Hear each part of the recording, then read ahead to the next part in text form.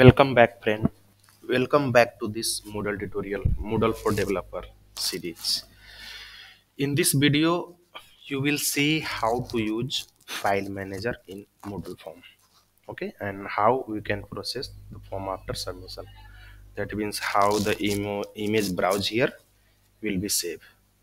Of course, it will be saved to uh, MDL files table, and the reference will be saved to uh, data file directory. Okay, so let's begin.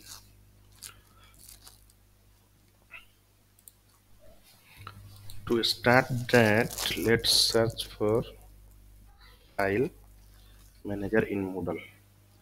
So browse to the first link. Okay. So this is file manager. So this is the way you can add the element into the file. Where it will be added? Course on the form page. Okay. So in our case, form page is form.php. Okay. So I have already added here for saving our time. Okay. So in this, we have made only the two correction. So in place of max file but this that means this is the size of file the maximum size of file okay? So in this case we are using the php built-in function to get the uh, maximum upload file size that has been set in php ini or moodle configuration file. So this will be used. And on the basis of this is just a label name. You can change here. I am changing this to attachment as you can see above. Okay. You can name it to attachment one as per your need. So now max file can be uploaded 50 here let's make it one. Okay. And this attachment is just a generic name so let's change with your name. So i am adding just sri underscore added as a prefix. Okay? So let's delete this from here. Got it? So now coming back to the form page and let's try to refresh. Okay? So now you can see the maximum file size is unlimited. Maximum number of file is this. Maximum total size is this.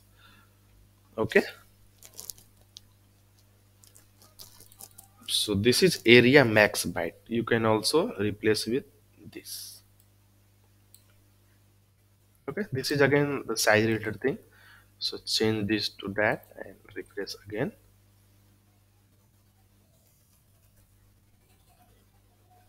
Area max bytes.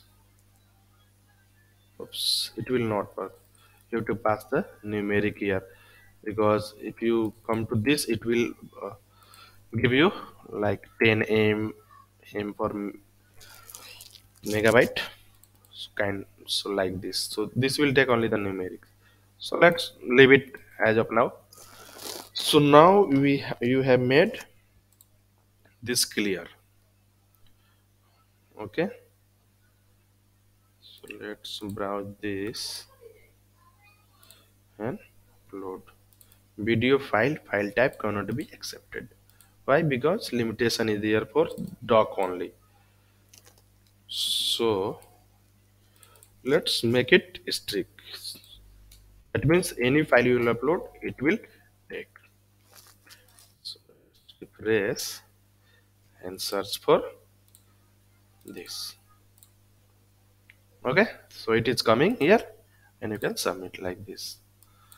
So this is form part has been created okay so now in the next video we will see how to save into the db after click on save change.